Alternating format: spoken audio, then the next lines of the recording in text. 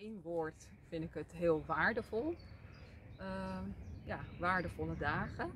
Voor mezelf als persoon. Ehm, en ook natuurlijk als, eh, in mijn ontwikkeling als coach. En het, voor mijn gevoel zit het allemaal heel mooi eh, in elkaar verweven. Of gaat dat gelijk op. En voelt het allemaal heel natuurlijk. Wat voor mijn gevoel heel erg past bij eh, wandelcoaching of natuurcoaching. Dat het ja, eigenlijk wel een beetje als vanzelf gaat. Uh, door natuurlijk hoe jij ons meeneemt in uh, de oefeningen en alles wat je ons aanreikt hoor, uiteraard. Ik vind het gewoon heel mooi, het geeft een soort structuur aan de coachsessies of het coachtraject. Uh, het geeft me als coach ook wel houvast. Maar ik denk zelf dat het ook eigenlijk de drie wezenlijke stappen zijn om um, in beweging te komen en tot verandering te kunnen komen. Dat alles daarin zit.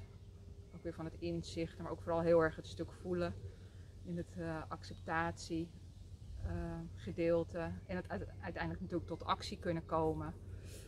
Uh, ja, dus het geeft mij wel een soort houvast en structuur. En het omvat voor mij de essentie van kunnen veranderen en mensen kunnen begeleiden tot hun gewenste verandering.